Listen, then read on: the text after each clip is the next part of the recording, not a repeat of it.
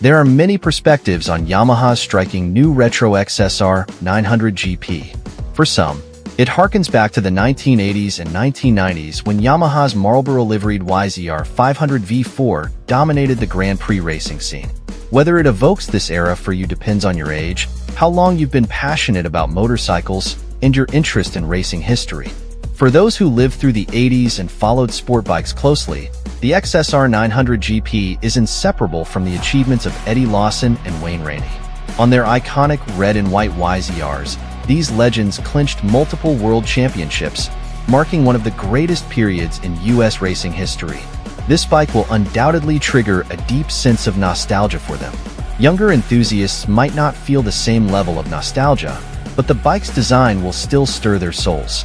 For me, at 48, the XSR 900 GP brings back memories of my teenage years filled with FZs, FZRs, and TZRs, fast, agile Yamahas featuring the signature flat-top gas tank and YZR 500 inspired styling. Regardless of your perspective, the XSR 900 GP's retro styling is likely to attract many buyers based on looks alone. However, it's important to note that this bike is more than just a nostalgic design. Yamaha has combined the excellence of the XSR 900 sports heritage triple with advanced technology from the MT-09 and MT-09 SP Sport Nakeds. The result is a motorcycle that promises to deliver something truly special. So, does it live up to the hype? Is the XSR 900 GP merely a superficial styling exercise, or is it a powerful blend of past and present? For context, my old FZ 600 had a choke, while the new XSR 900 GP boasts Bluetooth, something only reminiscent of eating a blue ice lolly back in the 90s.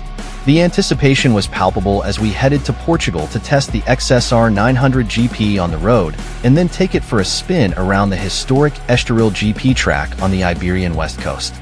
Retro styling, modern underpinnings, we typically kick off a new model road test by discussing engine performance or a new chassis setup. But with the XSR 900 GP, we must start with its looks and nostalgic appeal. Some may argue that it's just a dressed-up XSR 900, but Yamaha has thoughtfully added touches to enhance its retro charm. The top fairing, for example, is secured with classic fairing stays and racy R-clips and features the distinctive handguards reminiscent of the legendary YZR. The digital dash has an analog theme. The drilled fork caps are spot on for the 80s.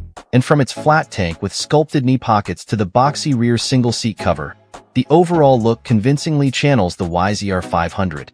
Unlike the old Grand Prix racer, however, the single seat is removable, and it includes neat fold-down pillion pegs like those on the XSR 900. The Delta Box style frame boasts an authentic period finish, and even the alloy, spin-forged, wheels have hubs with holes reminiscent of those on my Yamaha FZR 1000 EXUP. While I would have preferred twin round headlights over the standard single compact light, others will appreciate the clean, uncluttered yellow nose that mimics the yellow number boards of 500 cubic centimeters Grand Prix bikes. Some might miss a traditional exhaust and end can, though a factory option is available, but the Marlboro branding is impeccably on point. Without any actual Marlboro lettering, the design harkens back to the early 1990s when some countries banned explicit cigarette advertising at Grand Prix events. The XSR 900 GP's retro aesthetic is so convincing that I felt out of place in modern airbag race leathers and wished I had worn my old jacket, jeans, and a 1992 Iron Maiden t-shirt instead. When you first hop onto the GP, it's a bit disorienting. Nostalgia hits as memories of Rainey, Lawson, and John Kocinski flood back. But then you're met with a thoroughly modern 5-inch dash and advanced switchgear, including standard cruise control. This equipment isn't just lifted from the base XSR. It's all new for the GP. There's even a nifty 5-way joystick and a unique seesaw indicator switch. The bike now offers three standard riding modes, Sport, Street, and Rain, plus two customizable maps.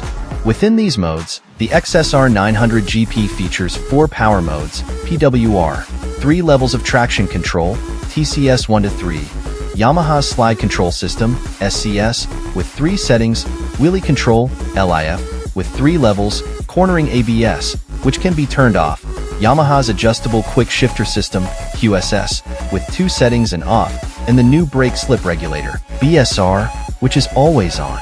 All these systems are linked to a 6-axis IMU, making everything lean sensitive. Although this might seem complicated, it's surprisingly intuitive. I typically chose either Sport or Street mode and disabled the LIF, wheelie control, for obvious reasons, and because Eddie and Wayne never had those features. Interestingly, when you disable wheelie control, it remains off in all riding modes, including rain, and stays off even after restarting the bike. Riding Impressions As we left Yamaha's HQ hotel and headed along the scenic coastal route in Portugal, it was clear that the GP model is more radical than the standard XSR 900. Your body weight is positioned much further forward, thanks to clip-on style bars that are 93 mm, 3.7 inches, forward and 114 mm, 4.5 inches, lower. The seat is also 12 mm, 0.5 inch, forward and 27 mm, 1.1 inches, higher, with the pegs raised by 26 millimeters, 1 inch, and set back by the same amount. This results in a sportier stance compared to the base XSR but remains balanced and suitable for everyday riding. Yamaha notes that the bars, mounted above the yokes, are higher and less aggressive than the R7, and nowhere near as racy as the R6 or FZR 400R SP. However, as a shorter rider, I did notice the taller seat height compared to the standard XSR. For those initial miles at low and legal speeds, the softer and smoother throttle response of street mode was preferable over the more aggressive sport mode. Yamaha has a tendency to make the sport throttle response a bit too harsh, and even on the racetrack later, street mode proved to be the better choice. As we approached Estoril, there were moments when we could let the engine roar. The third generation QSS quickshifter is impressively smooth and crisp, allowing seamless gear changes as the triple accelerates. The 5 Euro Plus compliant 890 cubic centimeters CP3 inline triple engine delivers a claimed 68.6 lb-ft of torque at 7,000 rpm and 117 horsepower at 10,000 rpm, striking a perfect balance for this type of bike. Riding its torque curve through the mid-range, the GP Retro provides instant response and drive. It feels urgent, strong, and fast. Alternatively, you can tuck behind the sporty screen, lean into the tank, and hold each gear as the RPM builds and the power surges. While the exhaust may look unconventional and sound slightly muted, the induction noise from the airbox adds a vital bark and character. Yamaha's CP3 motor is renowned for its blend of power, torque, sound, and character, an engine that excels in any road scenario. It's never overwhelming but always energetic, making it a joy to ride both on the street and the track. While the CP3, powered MT, 09 and XSR 900 are celebrated for their wheelie capabilities, the GP is less lively in this regard due to its longer wheelbase and forward weight distribution. Yamaha doesn't position the GP as a sport bike, yet it boasts higher-grade KYB suspension compared to the base XSR model.